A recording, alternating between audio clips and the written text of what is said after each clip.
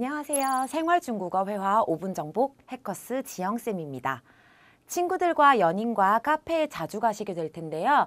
여러분께서 만약 중국에서 카페에 가게 됐다 그러면 "헉, 어떡하지? 당황부터 하게 되고 말은 잘 안 나오고 어버버버 무한 쑥스러움만 반복하게 되신다고요? 걱정하지 마세요. 오늘은 카페에서 사용하실 수 있는 중국어 회화 표현 제가 쏙쏙쏙 집어넣어 드릴 거니까 더 이상 중국인 앞에서 긴장하지 마세요. 자, 그럼 먼저 카페를 뜻하는 중국어부터 한번 살펴보도록 할게요. 커피숍은요. 자, 중국어로 커피, 카페를 넣어서 커피숍은 카페이팅. 요렇게 세 글자 사용해 주시면 돼요. 다시 한번 카페이팅. 그러면 중국에서 가장 많은 커피숍은 뭘까요? 자, 여러분 한국인들도 너무너무너무 사랑하는 별다방 바로 스타벅스입니다. 그렇다면 스타벅스는 중국어로 어떻게 말할까요? 스타벅스는요. 星巴克. 星巴克. 자, 그럼 이제 스타벅스를 들어갔어요. 커피 사이즈를 이제 주문을 하셔야 되는데요. 커피 사이즈에 관한 중국어 제가 작은 거, 중간 거, 큰 거, 그리고 가장 큰 사이즈, 벤티 사이즈 이렇게 네 가지 알려드리도록 할게요. 자, 작은 거는요. 여러분 작다, 小자 쓰셔가지고 小杯, 小杯. 중간 거는요. 中杯, 中杯.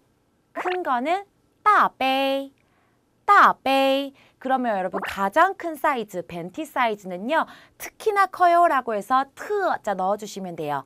特大杯 特大杯 사실 이도 저도 모르겠고 쌤 저 사이즈 너무 헷갈리는 것 같아요. 자 여러분 그럴 때는요 사이즈 가리키시면서 앞에 있는 컵을 찍으세요. 트레이가 트레이가 바로 이거라는 표현 사용해 주셔도 전혀 상관없어요. 그러면 이제는 가장 중요한 커피 이름을 말씀하셔야 주문이 끝나겠죠. 제가 제일 좋아하는 커피 아메리카노를 한번 중국어로 먼저 말씀드리도록 할게요. 아메리카노는요.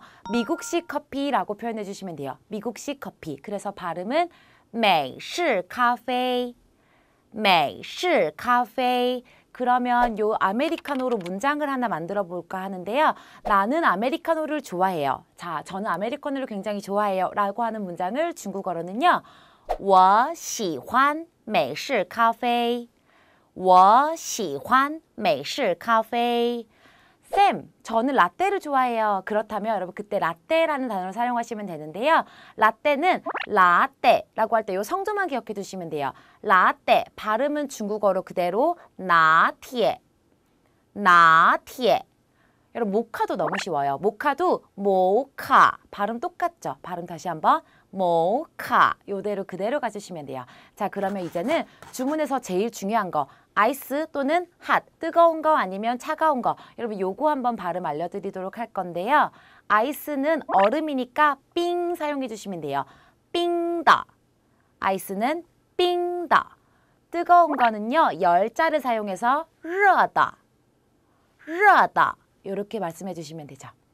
지금까지 배워본 카페에서 필요한 기본 단어들을 바탕으로 그러면 실전에 적용해서 문장 말하기 연습을 해볼 건데요. 여러분 문장으로 통째로 말한다고 하더라도 전혀 어렵지 않으세요. 첫 번째, 직원이 여러분들께 먼저 질문할 수 있어요. 무슨 커피 주문하시겠어요? 라고. 자, 여러분 이때 문장은요. 你点什么咖啡?你点什么咖啡? 자, 그러면 주문할 때 아이스 아메리카노 큰 컵 한 잔 주세요는요.